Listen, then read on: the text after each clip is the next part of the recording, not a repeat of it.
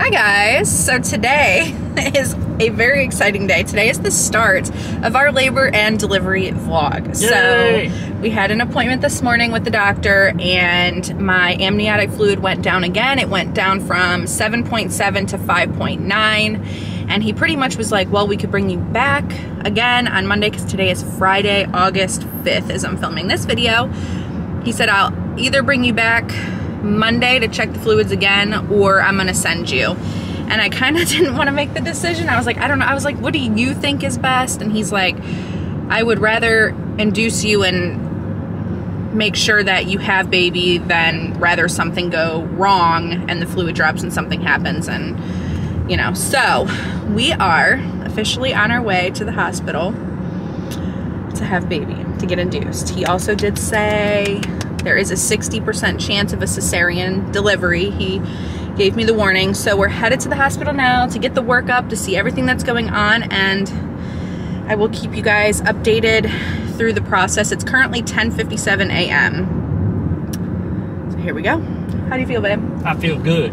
Can you believe can you believe it? I kind of feel weird. I feel like I'm I'm very excited, but I also feel like I can't believe it's happening and I'm kind of numb. Like shocked shocked feeling like it's not really it's not really happening, but it's it's totally happening. Probably be very real once we get into the hospital, so we shall see. We're all checked in. We're in the hospital. We're not in our main room. We're in the triage room, but we're gonna be here for a while because hospital is completely full.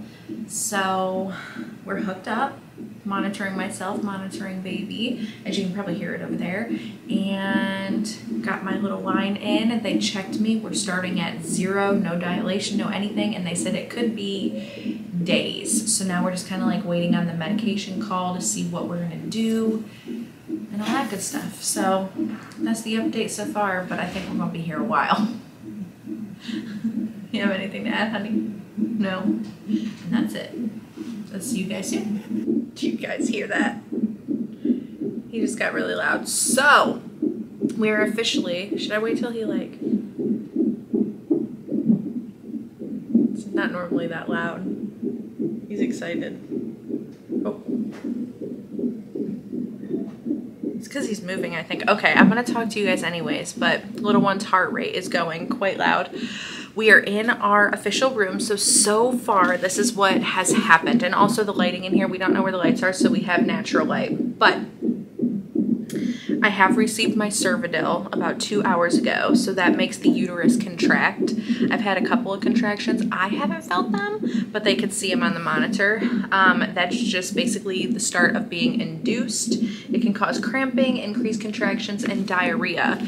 So far, we're good, and um, just kind of waiting along to see what happens.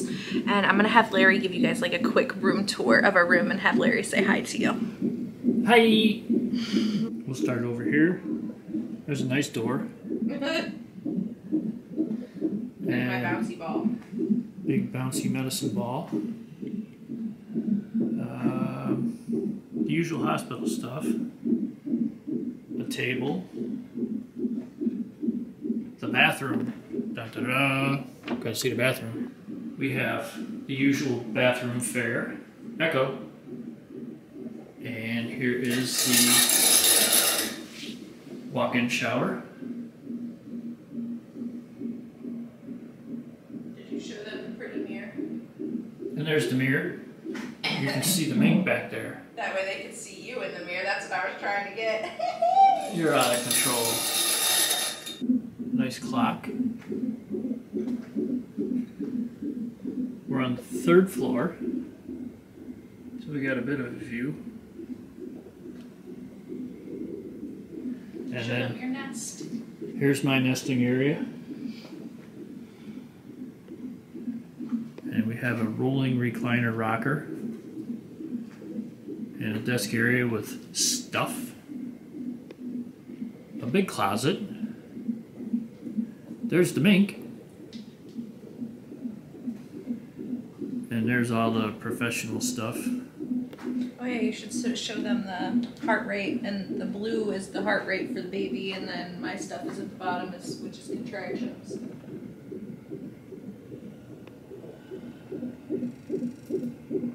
The diagnostic machines for all the mechanics out there. And a wash area. And where baby will be when he's born. Yes. He will be in here getting all cleaned up and wrapped up so he can get warm and get happy after coming out of that nice warm spot and being ice cold. yeah. Poor little babe. And that's it. It could be a very long. They did say it could be days. Oh, and my blood platelets currently. So yesterday they were 77 um, when I got them checked at the regular doctor's office, and today, would you say they were 83? So she's like, it's up to the chief of anesthesia, but we will see. We're still tweening. So that's the update for now, guys. It is currently uh, 4:45. Day one of being here been unhooked from the monitor, so I am rolling on the ball, just getting things moving, basically. And so far, still so good, just mild cramps.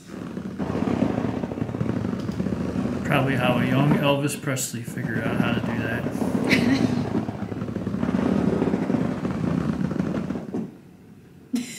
the noise.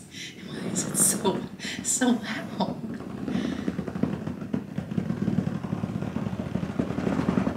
Okay. I think I shall walk now, maybe. Maybe that would be good for us. Guys, look at this. It's like a water spout, I think, or a tornado. I'm not sure. Water spout? Or it's coming down all the way. That is wild. View from outside our room. We have a water spout or a tornado. I don't know. What do you think, sir? I'm thinking tornado because it's out in the area of the Gulf, but I don't think we're. No, it's deceiving. It might be further away. I'm not sure.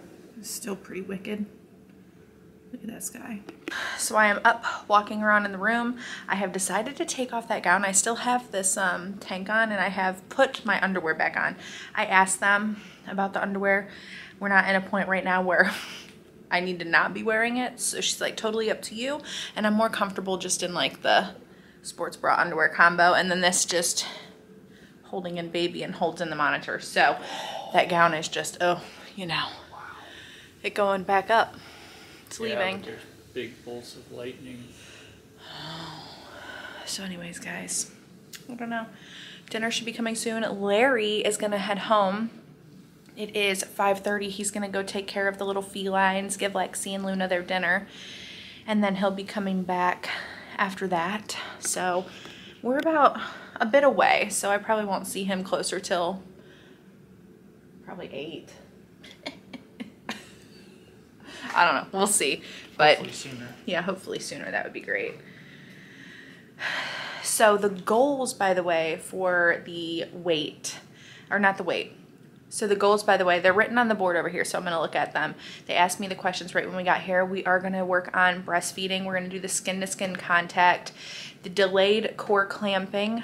Larry is going to cut the cord. Um, so those are those are the plans so far. So it is the next morning. Actually, the next afternoon is currently 1.35. It is August 6th. And we're just kind of still here, still waiting. And I've been hooked up to the baby heart monitor machine that's been on my stomach and then a machine that's also measuring my contractions which I am getting contractions now they're three to five minutes apart they feel like not my worst period cramps but pretty much up there and my back pain is like getting more intense but I met with an anesthesiologist with Larry last night and he talked to us about the epidural and all was well on his end until today, where the head honcho of anesthesia, I think, is not so sure. So they retested my blood platelets. Yesterday they were 81, today they were 80, so they didn't drop significantly.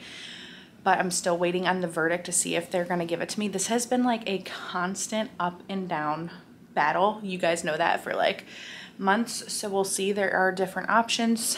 They're gonna talk to me about that too. But yeah, I'm allowed to get up and walk around. So right now I'm just kind of walking around the room, bouncing on the ball, which is over there. Larry is on his way back from taking care of the kitties.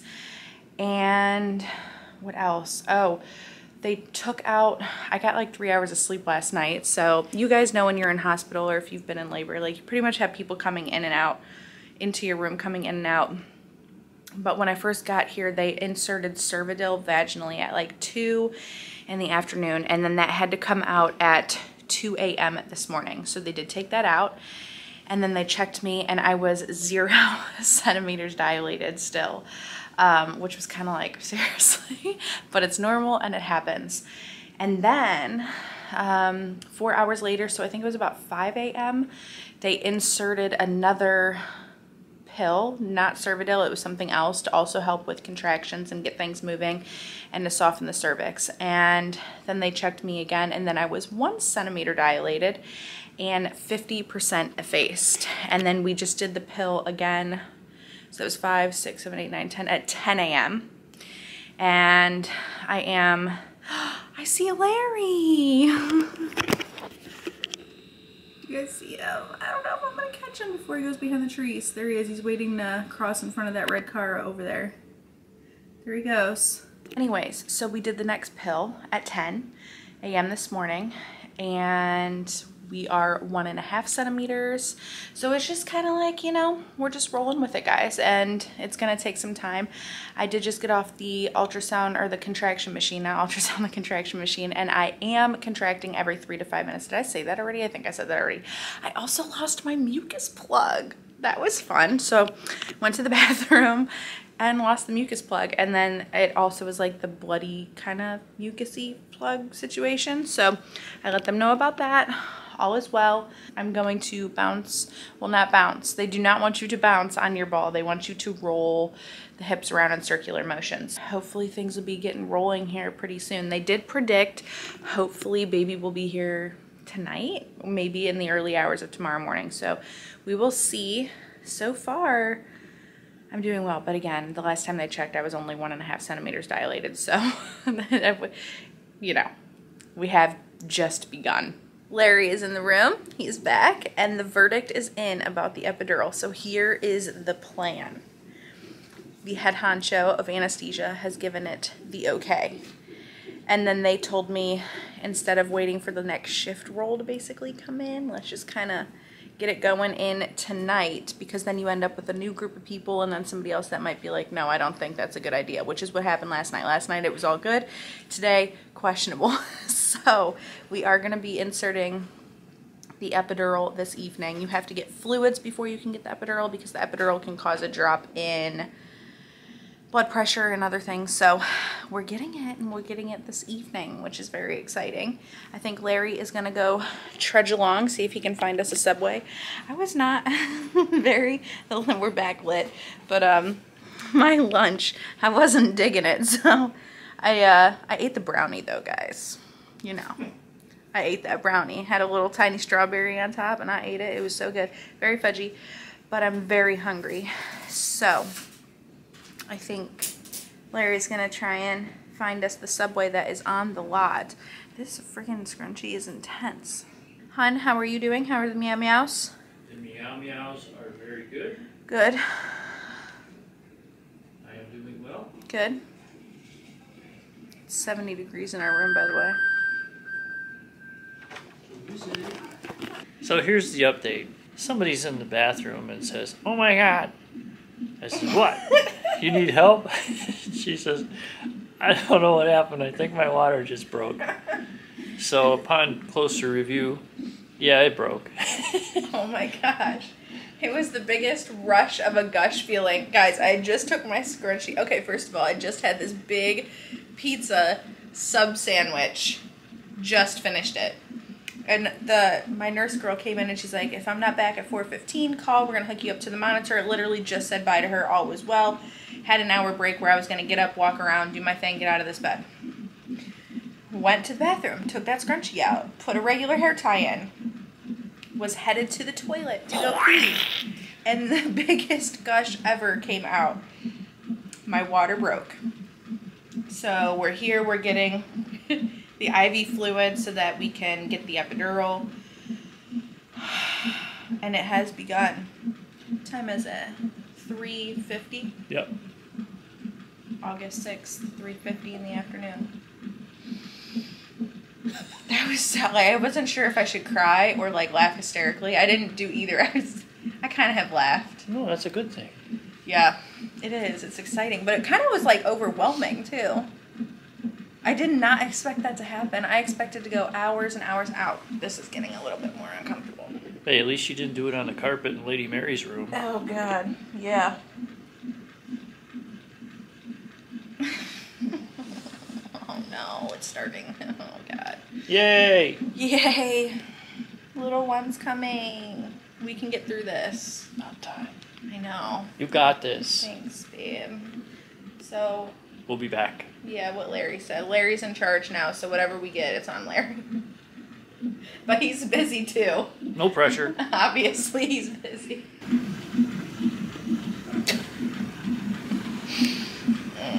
Another contraction coming. Mm-hmm. Are they comfortable? No. No. But Larry reminded me to keep breathing, so I'm doing that and squeezing the crap out of this. Yes. So, what is your pain level at? During those contractions, seven, eight, And six, without seven, them? seven, eight. Without them, just mild, regular crampies, like a four, five. Hmm. Still not comfortable. Not comfortable. Well, they're is- working on your medication. This is not baby bump, by the way. No. This is holding monitor in place. it's like a compression bump. kind of honestly feel like I'm gonna poo myself. Ooh. But I think that's all the contracting. I don't know that. Oh my god, what if I do? I have to. Plenty of water down there to wipe. Oh god. Oh, I hear a baby. I think they're delivering maybe next door. That's so cute. That'll be us soon. Well, who knows? It could be a while, but oh god. Yeah. Okay, signing off. Mm-hmm.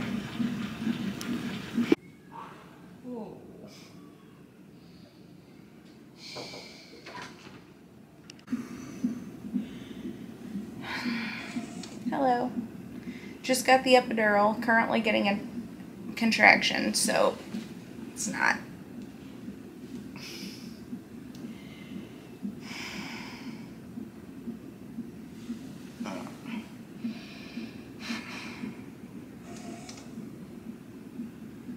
Okay.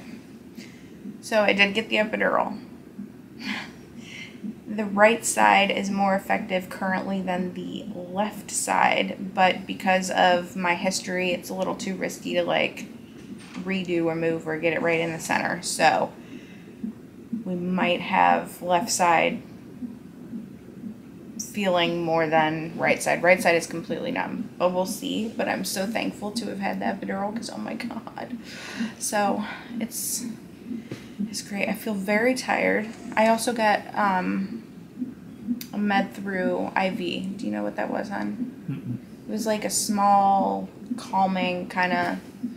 So right now during these, I'm just squeezing the crap out of this washcloth that Larry got me, and just getting through. And I'm gonna try and take a nap while I can, which don't really know how that's gonna go, but. Guys, I got the epidural, something that I didn't think I was gonna get at all Yay. and it you know i can still feel a little bit on the left side. That's it is what it is. I'd rather have a partial knocked out. And then i'll be getting my catheter here shortly so. Can't wait to meet baby. Everybody's babies are being born like literally at the same time. The neighbor next door just had theirs like before i got my epidural. And somebody down the hall had theirs. And i was like oh my gosh that's gonna be our little one soon. Did you hear them? Hear that little one crying? Mhm. You want to talk to them? Larry's wonderful support, by the way, guys. That's so weird. I just slapped myself and the whole thing's numb on this side. But see, I can feel the left side. It's okay. At least we got half. Okay. Guys, We are all set. The epidural went into the left side. Just took a minute to get over there. So if that happens to you, it happened to me, a totally normal thing. Right side went first, but the left side caught up. And I cannot feel my contractions. so, doing really, really great. Oh, they did just check. Two centimeters dilated. We've got a long road to get there. Um, they're going to give me another pill to help with the. I can't think. I got a pain med thing. I don't know. I can't think. But then they're going to switch from that over to Pitocin, basically something to help continuing with the induction of labor. Right, Larry? That's right. In the meantime, I think I'm going to try and take a nap. And I kind of feel possibly sick. Hmm. feel a little nauseous right now. I've got the bag. Yeah.